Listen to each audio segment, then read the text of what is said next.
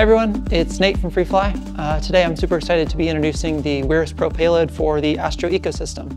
So in our quest to build out the smart dovetail ecosystem, we've integrated the Workswell Wiris Pro onto a FreeFly gimbal, and it just clips right into Astro using the smart dovetail interface. So we've chosen the Wiris Pro as a excellent payload for first responders, firefighters, and aerial inspections. So the Wiris Pro has two different sensors on board, which make it ideal for these use cases. So we've got a 10x optical zoom full HD camera, and then a 640 by 512 radiometric thermal camera that does 30 hertz video and stills. We sell this payload as a standalone package if you already have like a mapping payload, for example. Uh, and then we also sell a kit uh, called Astro Thermal, which is available on our store, which is the Wiris Pro payload plus Astro. So diving into the UX a little bit, we have the thermal camera pulled up on screen. So we have video and photo modes. I can switch between both of those. And then I have a whole bunch of different temperature exposure controls. So we have three different exposure modes for the thermal camera. Um, we have full auto, manual, and custom. Uh, we've also added um, different, you know, thermal exposure ranges. So you can see a, a wider or smaller temperature range depending on what you need. And then uh, we have just a ton of different color palettes. Uh, we know people are constantly switching between these on other thermal payloads, so we added a bunch here and you know they're all various different uh, ones that you can kind of pick and choose what your favorite is for your favorite use case. One of the features we have is isotherms. So if you're doing any sort of like search and rescue type operation, you can set different, uh, different colors to show up with different temperatures. So like an example would be, you know, if I'm looking for temperatures above let's say like, I don't know, 20, 21C. Yeah, that sounds about right.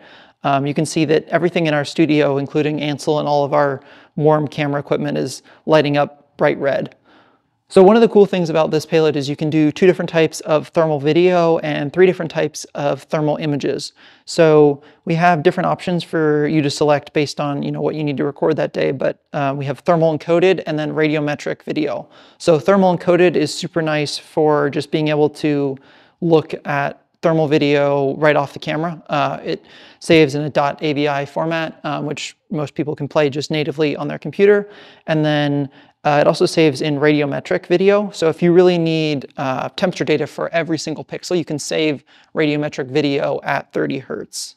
And then jumping over to the photo modes, uh, we have a bunch of different options there. So you can save either JPEG or TIFF images of the thermal sensor.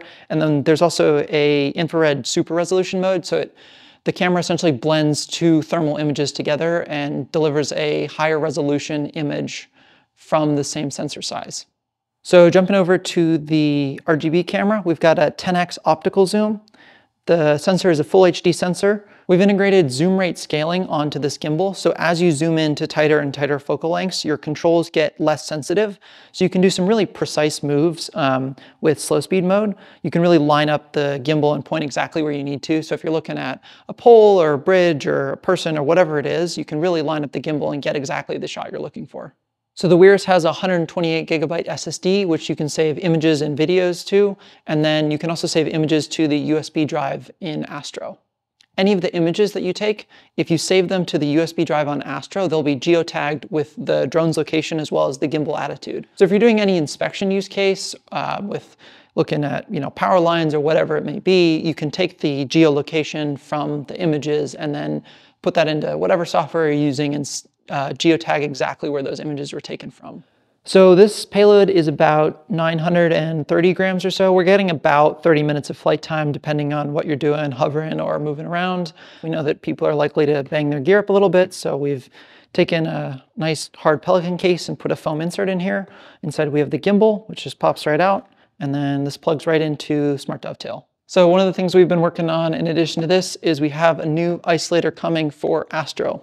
So this isolator has the smart dovetail on it, mounts to the chassis just like the other isolator, um, but it gives a little bit better performance, especially at higher zooms.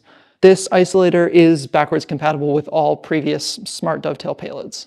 So in addition to the Wiris Pro payload, we have of course the mapping payload, so A7R4, 61 megapixel images for mapping and inspection.